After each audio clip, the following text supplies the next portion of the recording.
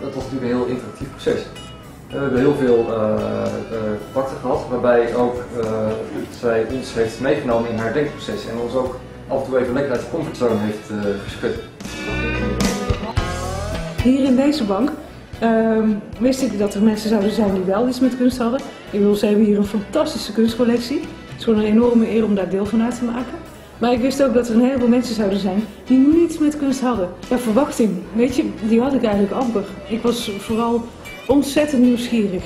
De bank wist niet wat ze konden verwachten. Ik wist het ook niet. Dat maakt het juist ook zo spannend. Ik heb ook helemaal niet het gevoel dat ik nu in een bank ben dat echt zo'n financiële, nou ja, wat je in de media terugkrijgt over de financiële sector. Boven verwachting, uh, ik zal het missen hier. Ik heb gewoon een ontzettend leuke tijd gehad. Ik voelde mezelf, voelde me hier in elk geval thuis.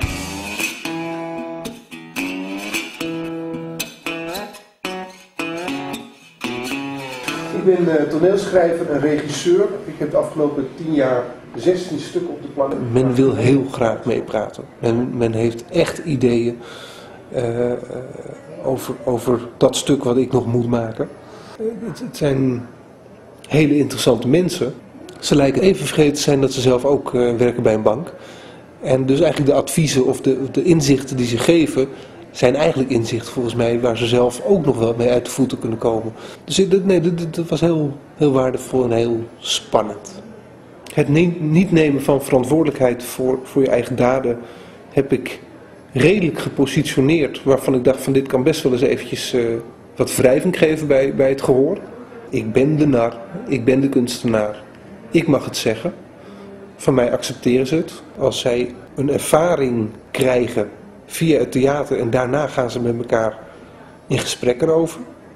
Ja, dan geloof ik wel dat, dat, dat, dat, dat, we, dat iets oplevert. En ik vind het echt leuk. Dit is echt leuk.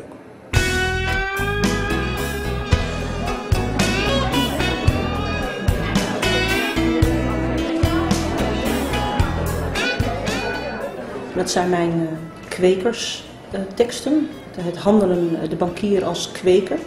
En hoe te handelen om iets niet tot groei te brengen. Dat is volgens mij het probleem niet. Maar hoe je iets tot bloei brengt. Ik zal hem eens voorlezen. Juist in deze voor de planten zo ongunstige maanden moet men proberen zo gunstig mogelijke milieuvoorwaarden te scheppen. Een eenzijdige verhoging van één der groeifactoren is doelloos en zelfs schadelijk. Slechts bij een verstandig op elkaar afstemmen van alle vormende krachten zal de kweker tot goede resultaten komen. Nou, Haal planten weg, haal, kweker, uh, haal kweker weg, je zegt geld, je zegt banken. En het is dan toch zo Toch? Het verschil daarin, denk ik, tussen kunstenaars en bankiers gaat veel meer over dat kunstenaars die kwetsbaarheid en die onzekerheid omarmen als iets wat juist uh, positieve energie genereert en zonder welke het werk niet kan ontstaan. En dat bankiers het kosten wat kosten buiten de deur proberen te houden. En het dus zien als een destructieve kracht. Ik moet die FD hebben.